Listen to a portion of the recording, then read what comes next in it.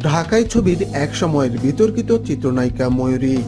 অশ্লীল যুগে রূপালী পর্দা দাপিয়ে বেড়ানো এই নায়িকা অনেকদিন ধরে নেই আলোচনায়। গেল সেপ্টেম্বরে ময়ূরীর তৃতীয় বিয়ের খবর প্রথম প্রকাশ হয়েছিল। বিয়ে নিয়ে কদিন পত্রপত্রিকার খবরের শিরোনামে এলেও আবার হারিয়ে যান তিনি। নতুন করে জানা গেছে, তিন শতাধিক ছবির নায়িকা ময়ূরী এখন পরহেজগার তিনি সিনেমা ছেড়ে যাত্রা, কনসার্ট, সার্কাসের প্যান্ডেলে নাচতেন। তৃতীয় বিয়ের পর ময়ূরী নিজেকে পুরোটাই বদলে ফেলেছেন, এমনটাই তার দাবি। জানিয়েছেন, এখন ধর্মকর্ম নিয়ে ব্যস্ত তিনি। পাশাপাশি তাবলিগ জামাতের সাথে নিজেকে পুরোপুরি সম্পৃক্ত করেছেন ময়ূরী।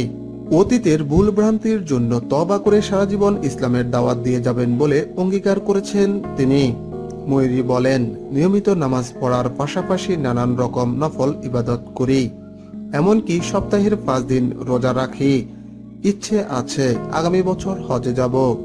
ময়ূরী আরও বলেন, বর্তমানে আমি নতুনভাবে জীবন শুরু করে বেশ সুখী জীবন যাপন করছি। আমি আমার অতীতের ভুল ভ্রান্তির জন্য অনুতপ্ত। এখন জীবনের বাকি পথ এভাবেই ইবাদত বন্দিগির মধ্য দিয়েই পার করতে চাই। আপাতত পরিকল্পনা স্বামীর সাথে এক চিল্লা তাবলিগ জামাতে যাব। তারপর ইচ্ছে আছে হজ করার। ময়ূরীর কাছে জানা গেল, তার স্বামী জাহাঙ্গীরনগর বিশ্ববিদ্যালয়ের দর্শন বিভাগের স্নাতকোত্তর শিক্ষার্থী শফিক জুয়েল। বয়সে জুয়েল ছোট হলেও দুজনের মধ্যে বেশ আন্তরিক সম্পর্ক। আগের ঘরে ময়ূরীর এক মেয়ে রয়েছে। সেই মেয়েকে জুয়েল ভীষণ পছন্দ করেন।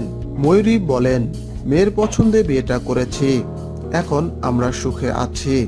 পেছনের সেই সব দিনের কথা আমি আর মনে করতে চাই না। এখন সামনে এগিয়ে যেতে চাই, মেয়ে ও স্বামীকে নিয়ে। ময়ূরী অভিনীত প্রথম চলচ্চিত্র মৃত্যুর মুখে এবং সর্বশেষ মুক্তিপ্রাপ্ত চলচ্চিত্র বাংলা ভাই। নব্বই দশক থেকে এ পর্যন্ত ময়ূরী অভিনীত তিনশো ছবি মুক্তি পেয়েছে। নার্গিস আক্তার পরিচালিত চারশো দিনের ঘর শিরোনামের ছবিতে চলচ্চিত্র অভিনেতা আলমগীরের স্ত্রীর চরিত্রে অভিনয় করে প্রশংসিত হয়েছিলেন ময়ূরী। নিত্য নতুন সকল খবর আপডেট পেতে আমাদের চ্যানেলকে এখনই সাবস্ক্রাইব করুন। বেল আইকনে ক্লিক করে আমাদের সকল আপডেটের সঙ্গেই থাকুন।